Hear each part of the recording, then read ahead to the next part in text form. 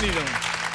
Muchas gracias, Eduardo. Bienvenido, ¿Qué tal? Muy bien. En mi estreno en Órbita Laica, mi objetivo es explicar cómo hace nuestro cerebro para construir los colores. Para construir los colores. Y vienes con... Unos aparatos que ahora te cuento sobre ellos. Lo primero que necesitamos antes de hablar de esto es de luz. Ajá. Es decir, de radiación electromagnética. Todos nosotros tenemos sensores de radiación electromagnética, los ojos. Sí.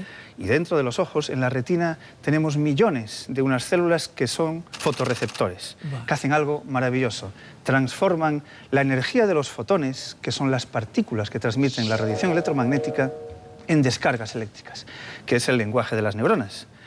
Y tenemos esencialmente dos tipos de fotorreceptores. Ah, y ahora sé a lo que venía esto, claro.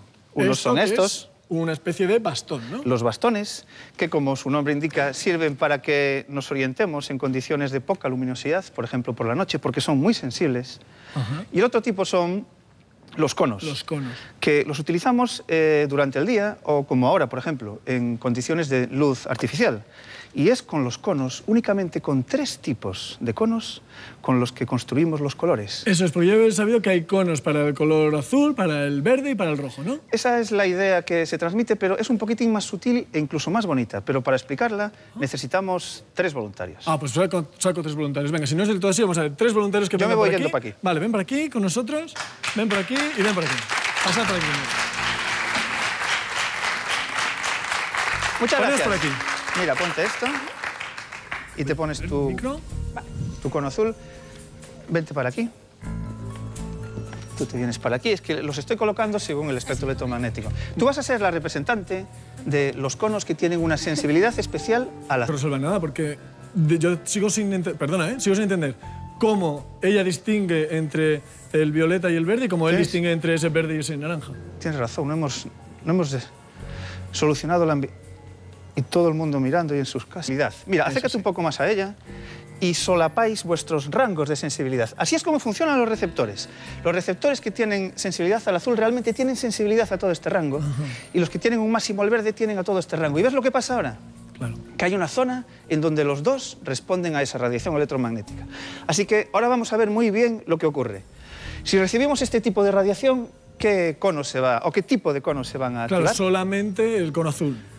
Estos no. Uno, cero. Sí. Sin embargo, si recibimos este tipo de radiación, ¿qué cono o tipos de conos se van a Se activar? encenderán los dos. Uno, uno. Y si recibimos este tipo de radiación, ¿qué cono o tipo de cono Pues se van solamente aquel cono verde. Y tú no, perdona, pero te voy a apagar. Y esto es fundamental. Tenemos un código. 10, 1101. En la realidad es, es un poco más preciso, no es así, pero funciona así. Y ahora, para completar la retina, solapándote, porque si no, no funcionaría, con tres tipos de conos podemos tener sensibilidad para todo el espectro. Ajá, o sea que no era tan sencillo como pensábamos. No, tiene una sutileza muy bonita. Y hay algo que te va a gustar. Que, bueno, te va a gustar. Nos va, a- nos va a gustar a todos porque vamos a comprender de un sopapo una cosa muy interesante. Mira, si tú te apartas, te voy a inactivar, perdona, y apágate por ahí. Échate un poquito para atrás. Ahora tenemos una retina con dos tipos de conos. ¿Esto tendrá mucha capacidad de discriminación? Claro, habrá colores que no sea capaces de discriminar. No, algo así, pero no muchos. ¿Sabes lo que es esto? Esto es el daltonismo. ¿En ¿No dónde? tiene esos conos? Eh, depende del tipo. En algunos pues sí que existen pero no funcionan y en otros ya directamente no funcionan. Así es como funciona nuestra retina y cómo nuestro cerebro es capaz de discriminar entre frecuencias. Oye, Muchas gracias. Pues muchas gracias a los tres. Dejarnos estas cositas. Muchas gracias. Un aplauso. Os podéis sentir. Oye, me ha encantado. Me ha ahora- encantado. Me ha encantado esta me explicación. queda una última sorpresa para terminar. O ¿Tienes más, que una sorpresa, un último mensaje. Mira, Vamos a ver, ¿qué traes aquí? te voy a poner esto aquí. Sí. El mensaje es realmente, lo pongo mejor aquí, Vale. que está así un poco más separado. Este mensaje es importante, porque hemos estado viendo que nuestro cerebro es capaz de discriminar todas las frecuencias del espectro visible, Vale. a pesar de que únicamente recibe descargas eléctricas. Sin embargo, no hay una relación directa entre las frecuencias y los colores que formamos, porque el color final que terminamos percibiendo depende, depende también del contexto. Ajá. Es una cosa que, que, eh, en el que intervienen muchos factores. Y O sea, tú vamos- dices que no hay una, una asociación personal que, que me ponga matemático biunívoca entre color y color percibido y longitud de onda. Exactamente. Vale. Y lo vamos a ver de la siguiente manera. Venga, esto. Me, me cojo esto de aquí. Aquí, ¿qué tipos de colores percibes? en Bueno, yo los- percibo- En los, en los círculos pequeños. En los círculos pequeños, pues un amarillo huevo, digamos, más clarito, y esto es como casi naranja. y- ¿Veis que los círculos pequeños son Sí. distintos? ¿Los percibís distintos? Sí, uno más claro y uno más oscuro. Pues ahora podemos eh, eliminar el contexto, puedes taparlo. ah, vale, esto vale Ayúdame. como máscara.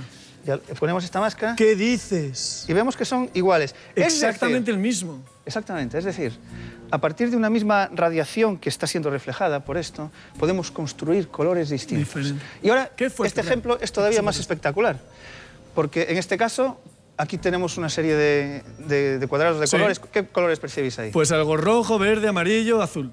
Bien, eh, pues mirad, te voy a dejar a ti que, que tapes. Sí. Así. Tapo, tapo, Ta- pongo la tapa, máscara van, como a- antes. van a quedar los amarillos solamente dices? que no son ni siquiera amarillos, son grises. Son grises. Es decir, en algunos casos, nuestro cerebro construye colores en donde no hay esa radiación electromagnética en donde suponemos que, que- que necesitaríamos para construir el amarillo. Espera, espera, espera, espera, Había amarillo, había ama- Sí, Eran grises todo el tiempo. todo el tiempo. Estamos Wow. construyendo una parte importante del mundo que vemos. Wow, maravilloso. Muchísimas gracias, Gracias. Suso.